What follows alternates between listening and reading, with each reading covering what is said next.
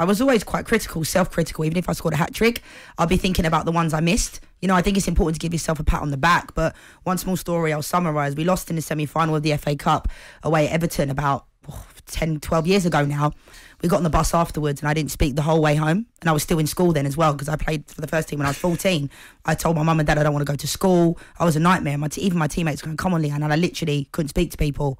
I was. A, I'm not a bad loser. No, no. But I hate losing, and we Yeah. lost in the semi-final of the FA Cup. And sometimes I used to think like when I signed for Chelsea from Arsenal, we get in the changing room after the game, and at Arsenal we used to win everything. We were Yeah. the best team. Yeah. And my teammates, some of them would be like, "Oh, let's go for something to go for a drink, hmm. or let's go." I'm There's no thinking, such thing as a good what do you loser, there's just a loser, isn't there? No, but how can people be thinking about going on a night out when you've just lost the game?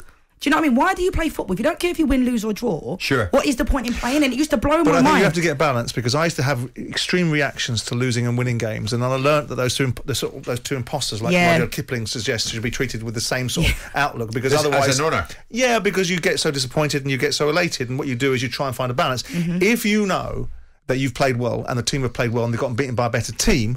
Then, then you can accept those things. If it's, if you've not played, But I well missed a penalty in a game when I played in America, and I was But it's your own fault, isn't it? Yeah, well, shut up. no, but you I felt terrible. yourself. Yeah, You I felt hard on yourself. terrible. Which leads me to Marcus Rashford. Now, this is everywhere today, and I'm looking at the Telegraph. Incidentally, Simon, the Telegraph uh, did really well last night to the SJAs. So th- th- there is a newspaper. Their sports section is flying. Marcus Rashford.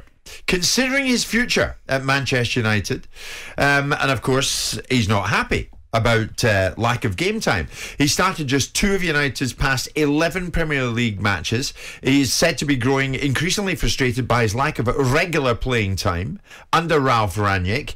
And then we get more to it. Apparently, um, dismayed, particularly dismayed, to be omitted from the starting lineup in the 4 1 capitulation to City at the weekend. Whose fault is that, Lianne? The thing is, obviously, in the game the weekend, you know, Greenwood obviously is not playing. Martial's not there anymore. Cavani and Ronaldo, you'd expect him to have played. He would have expected himself, but I don't think Manchester United fans would have expected him to play. I'd rather, I'd rather Elanga play because at least with Elanga, he has a bit of fight. For me, Marcus Rashford has only got himself to blame because he hasn't been good for a, a while now. You know, I said on the show about three months ago, maybe, that I felt like it was time for him to move on. I did, and I got a lot of pelters from people saying, Do you "Oh, still think how- that? Yeah, I do. Because Even more so for now? himself. Because as from a player's perspective, you can tell when it's time to move on. You can tell in himself he doesn't look happy. You know, Marcus Rashford, unbelievable what he's done off the pitch. Nobody will ever, ever forget everything he's done for all those kids and those families. But it's the football now. Of course. You want to talk about the football. And when you look at it, if he goes to analyse his games, surely he must be thinking, I've not been good enough. Like, what warrants him to start in this game over an Elanga, over a Sancho?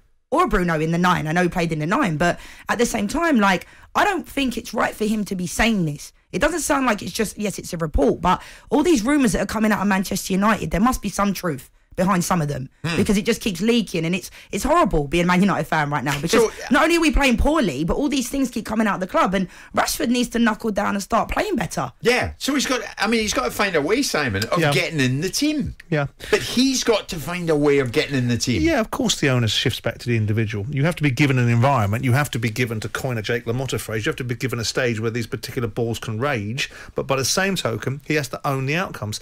I'm of the belief that Rashford's been overpumped by the media as a player, but notwithstanding that, he's nowhere near the level that he was at he's before. English? No. And it's, and you look at it and say, well, things like a culture where you come back from the Euros, Mm. you are injured, you need to be have an operation, and the manager decides you can go away for another two weeks and come back when you're ready. This is not the sort of culture that you build in an environment where you demand and expect from your players an understanding of who they're playing for. It was too easy, Ozzy, and I think they've fallen into the trap. Aaron Wan-Bissaka has gone to I'm moving off Rashford for a second. Go back to him in a second. Gone to, from Crystal Palace to Man United. Never been developed. Is now a player that isn't good enough for Man United. no wonder Palace took the 50 Uh, of course, they break their, arm straight off, away break their Yes. arm off at the shoulder Yeah. to get it in the first place. But by the same token, you look at Rashford, and again, listening to Teddy Sheringham, and I don't always see eye to eye with Teddy Sheringham. The only time we ever spoke was when his kid got a given an opportunity at Palace in my academy. Other than that, Teddy ignored me for years. And some might say, well done him. but, yes. but the bottom line is, is Teddy was talking about the responsibility for Marcus Rashford to understand where this lies and to get himself together rather than have his agent flapping his gums and create more division at Manchester United about what I'm entitled to. You're not entitled to anything.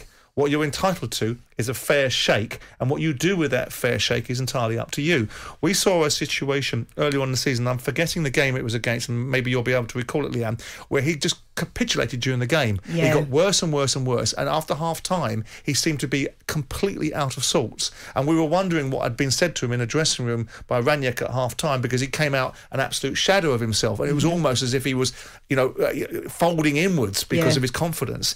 Look, you know, no, no one, you know, criticises Marcus Rashford for anything other than legitimate failings. That's right. And too many people in football want to praise, but they don't want to criticise. And too many footballers in this modern day can only be praised.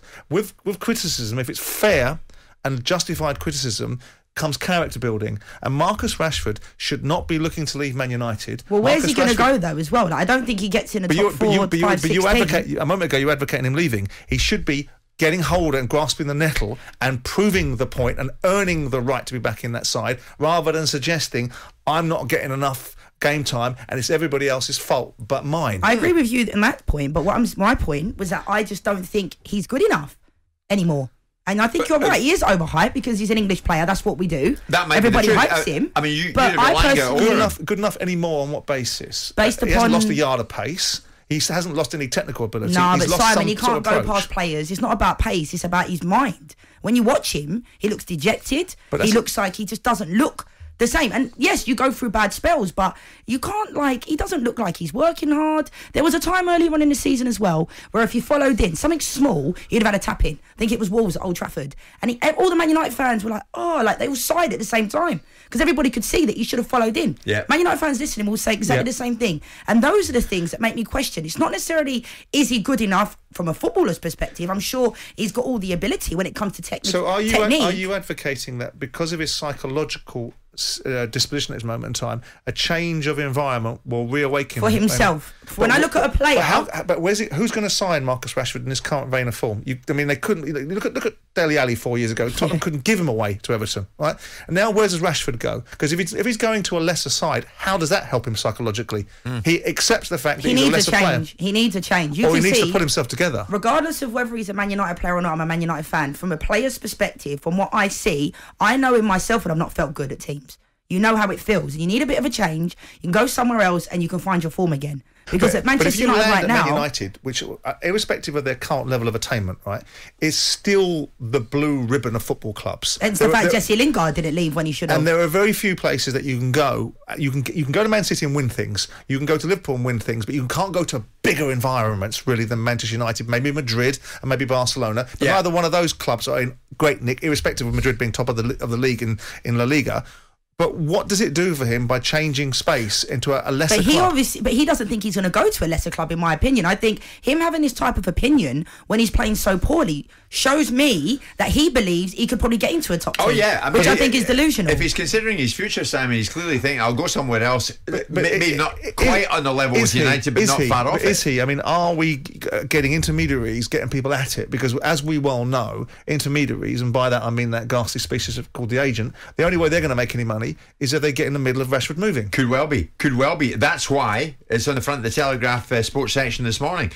Rashford considers future as United slide into turmoil. I mean, we'll put it out there. And a lot of United fans getting in touch, incidentally. And uh, I'm interested in what I'm reading at the moment. Jeff, a Manchester United fan, Rashford lately plays like he's got boots on the wrong feet. when he gets the ball, he always takes on one player too many and loses the ball. He's gone down, down the same route as Anthony Martial. So um, apparently, Rashford's considering his future. So if he considers that his future is elsewhere, as a United fan, would that bother you? Do you want him to stay, or is it time up for him? 03717 2233 44 81089. Jim White and Simon Jordan. Monday to Friday mornings from 10 on AM, on DAB, via the Talksport app, and on your smart speaker. Talksport.